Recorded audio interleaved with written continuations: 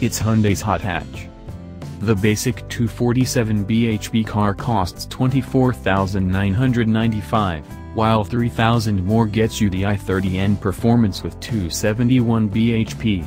Both hit 155 miles per hour and complete 0 to 62 miles per hour in a smidge over 6 seconds, but the performance boasts an electrically controlled differential, bigger 19-in wheels with bespoke Pirelli tires, a sports exhaust and leather seats, though you can spec those back to fabric to save some kilos.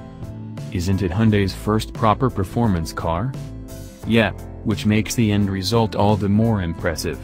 What staggers most is how thoroughly developed the i30N feels, something that's tangible through every control and every design flourish. Take, for example, the shift lights between the dials. They illuminate from orange to red as you approach the red line, fine and a track special, but a bit gimmicky in a 2.0-liter Hyundai, you might think. Except the commitment this car inspires from its driver means they're actually pretty handy, and they're timed so that once they're all lit, you still have time to change gear.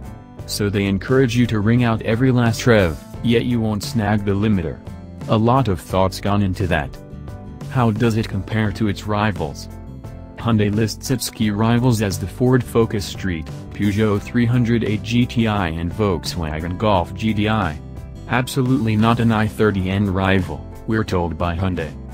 In conclusion, I can think of few other hot hatches that demonstrate such a transformation over their base car. The regular i30 is competent, but sensible to the point of anonymity. The i30N is fast, fun and capable of bringing your inner scamp to the surface mere meters after you've pulled away. Just like all great hot hatches.